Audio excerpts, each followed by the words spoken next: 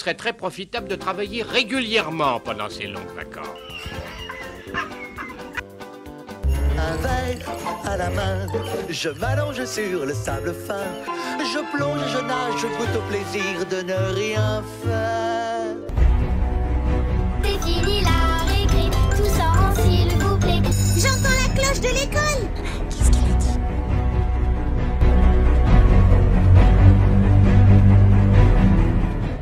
Je suis un vrai fantôme. Welcome les copains, j'espère que vous allez bien. Aujourd'hui je vous retrouve pour un What's in my school bag. Mais avant l'intro. Just going home. Have a late, late show. No one to meet me at home. Si vous vous demandez pourquoi je fais des vidéos back to school alors que euh, nous ne sommes presque pas en vacances ou que nous venons d'être en vacances, n'hésitez pas à aller voir ma vidéo je mangeais toute seule à la cantine où j'explique ça. D'ailleurs merci beaucoup avant de commencer pour tous les retours que vous m'avez amenés via cette vidéo. Vraiment j'étais hyper émue, j'avais les larmes aux yeux en lisant vos témoignages.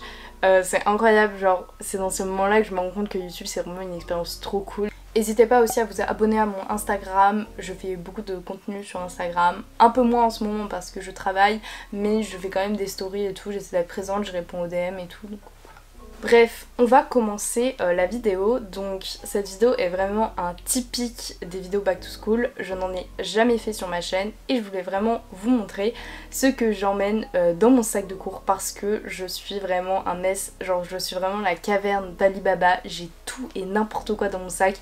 Mon sac c'est toute ma vie. Je ne me balade jamais sans mon sac. D'ailleurs souvent genre les gens quand ils apprennent à me connaître se foutent de ma gueule parce que j'ai tout le temps un sac avec moi.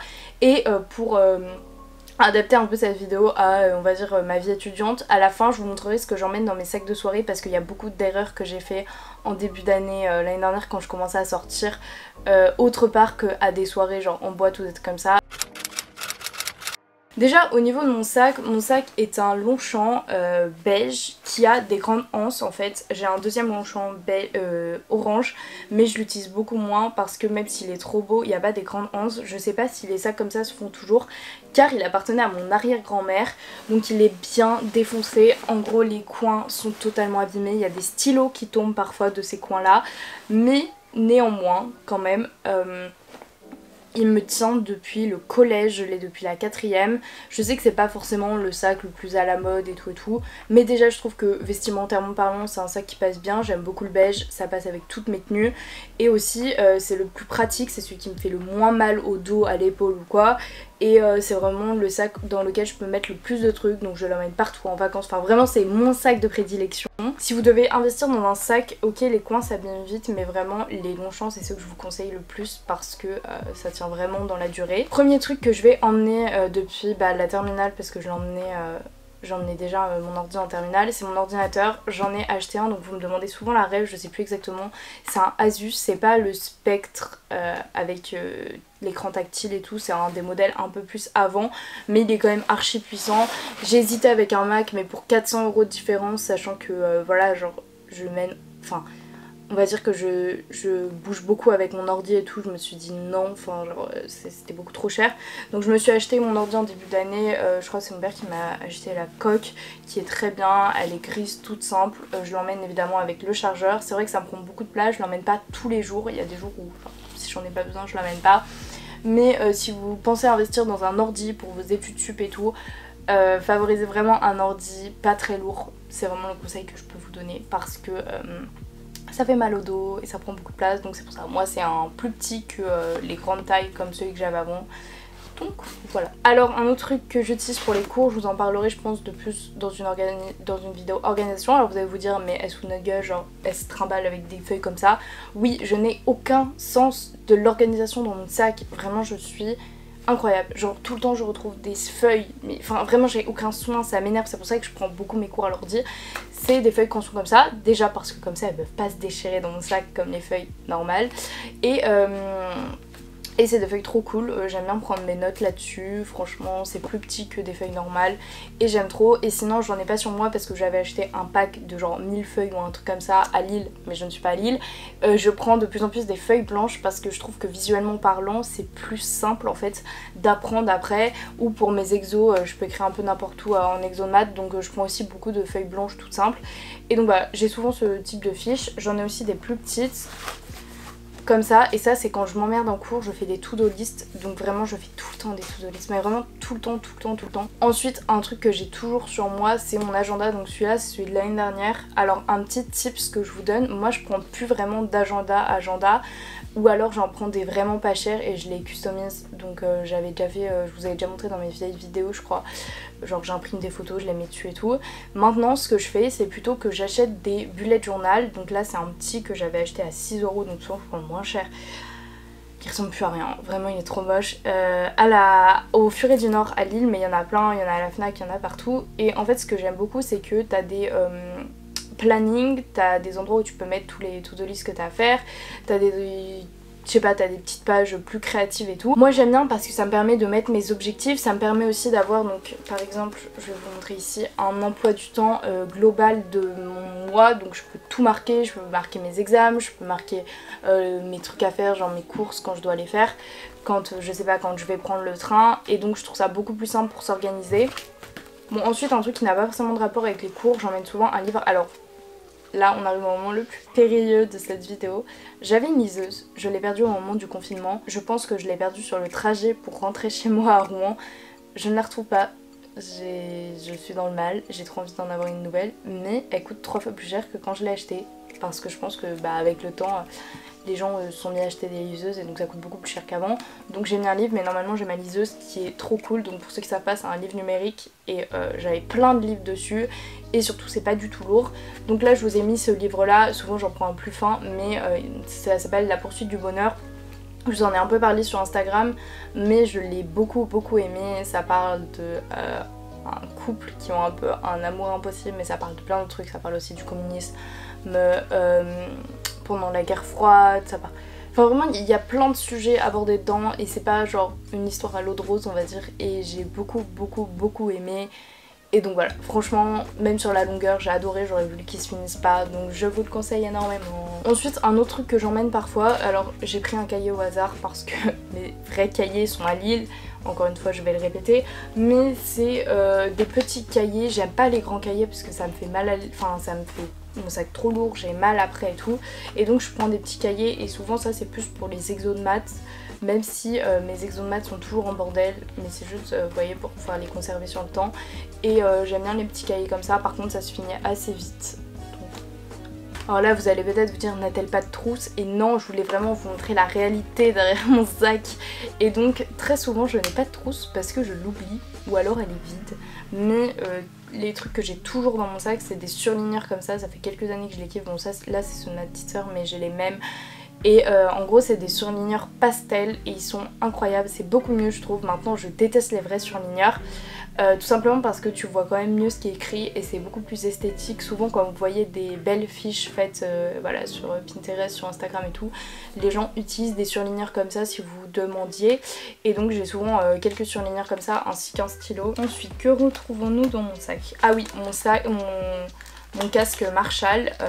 alors, il est en Bluetooth, il est beau. Je vais vous montrer. Il est sympathique euh, pour marcher parce que je marche environ 30 minutes euh, chaque matin pour aller en cours. Par contre, il est totalement désagréable, il fait mal aux oreilles, genre vraiment c'est horrible. Donc si vous cherchez un casque agréable, je vous le déconseille fortement.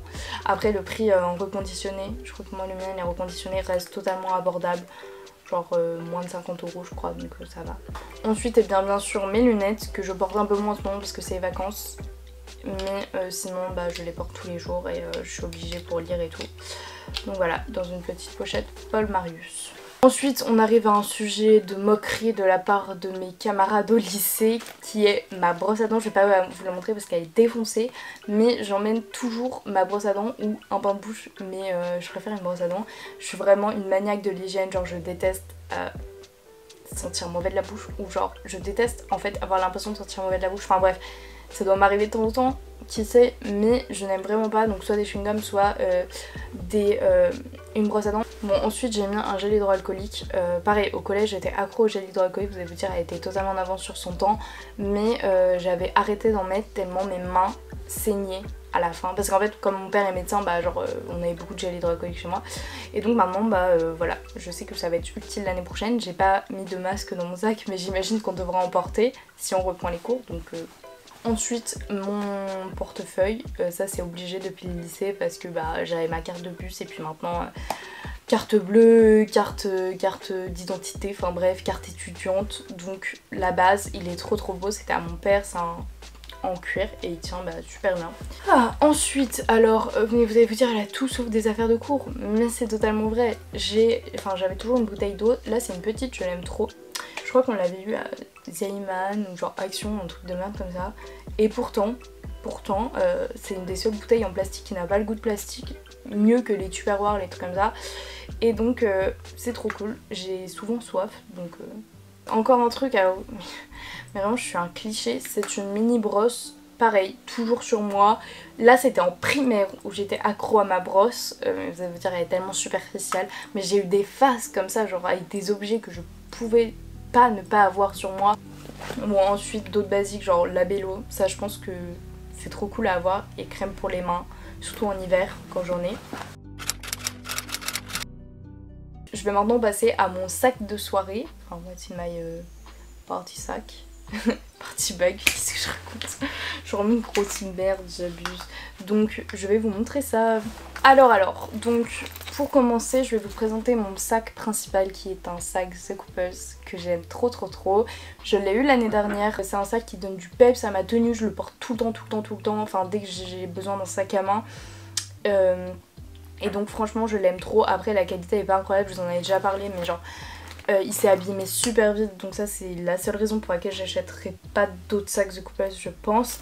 Mais euh, je l'aime beaucoup.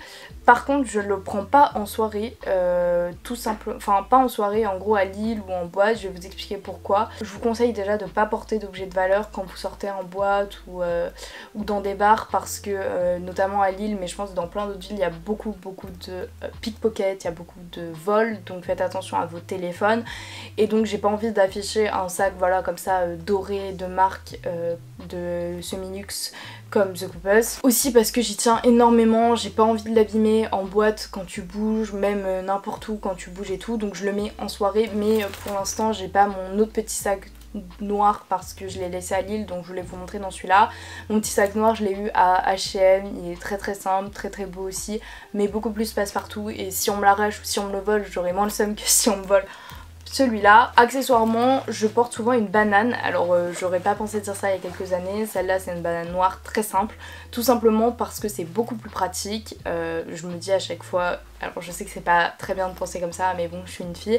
Je me dis si je dois courir, c'est beaucoup plus simple. Aussi parce que c'est près du corps, euh, voilà, où tu peux la porter très joliment. Genre, imaginons, je porte une veste comme ça, je la mets comme ça, sous mon truc, ça, ça se voit pas.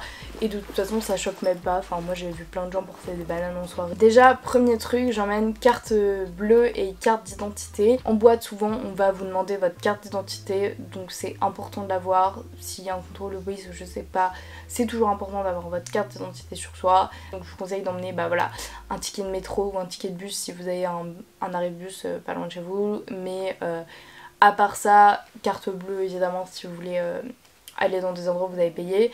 Quelques euros c'est bien si vous prenez un vestiaire aussi en boîte. Mais emmenez vraiment le strict minimum. Voilà, c'est tout ce que je peux vous conseiller. Emmenez bien évidemment vos clés, à ne pas oublier si vous rentrez chez vous, très très important. Et mettez-les en sûreté. Moi, très souvent, ce que je fais, c'est que je les mets dans une poche spéciale de ma banane, que j'ouvre pas de la soirée, avec par exemple mon portefeuille ou ma carte bleue, ou euh, mon porte-carte si... Euh, si j'emmène pas mon, portefeuille. Et euh, je ne l'ouvre pas parce que j'ai toujours peur de les faire tomber et de me retrouver comme une conne à pas avoir mes clés. Ensuite souvent un labello aussi. Un gel hydroalcoolique, ça je le faisais même avant qu'il y ait euh, le coronavirus, même si je me doute bien qu'en début d'année, très peu de gens vont aller en boîte et que les boîtes vont peut-être pas réouvrir, mais bon, je fais cette vidéo pour toute l'année prochaine, j'espère quand même que ça rouvrira un jour. Et euh, voilà, un gel hydroalcoolique, bon là il est vide, mais un petit, petit échantillon. Au cas où vous oublierez votre sac, je vous conseille de mettre un petit mot avec marqué, euh, pas votre adresse évidemment s'il y a votre clé dedans, mais mettre votre prénom, genre euh, ce sac appartient à machin et numéro de téléphone. Comme ça si quelqu'un le trouve, il pourra vous le donner. N'hésitez pas à faire ça dans votre coque de téléphone avec le numéro d'un ami ou quoi. Aussi parfois j'emmène mes lunettes, ça c'est totalement psychologique parce que je me dis si j'ai une migraine en pleine soirée, j'aurais envie de les mettre. Donc c'est pour ça que j'aime bien les rentrer dans mon sac. Il y a la place, voilà. J'espère que cette vidéo vous aura plu. Comme vous pouvez voir, je ne suis pas la youtubeuse modèle qui a tous les trucs, euh, voilà, enfin, euh, à, la, dernière mode ou, euh, ou tous les, tout le matériel scolaire parfait mais juste bah je suis moi en fait je peux vraiment vous montrer la totale vérité n'hésitez pas à vous abonner à mon Instagram et à ma chaîne YouTube et à me dire quelle autre vidéo vous voulez voir en vidéo back to school n'hésitez pas à liker cette vidéo à me dire aussi ce que vous emmenez genre vos 5 indispensables dans votre euh, sac de cours et bisous les copains